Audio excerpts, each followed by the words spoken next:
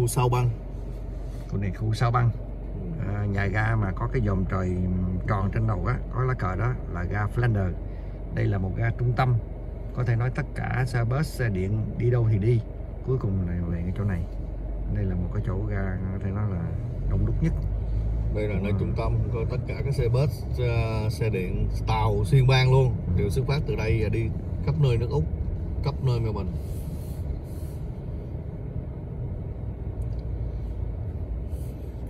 rất là rất là cổ kính ha.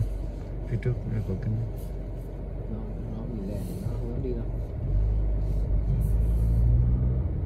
Linda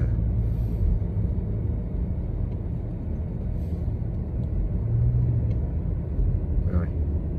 Bắt đầu chấm dứt. Ra xin hẹn lại video clip sau.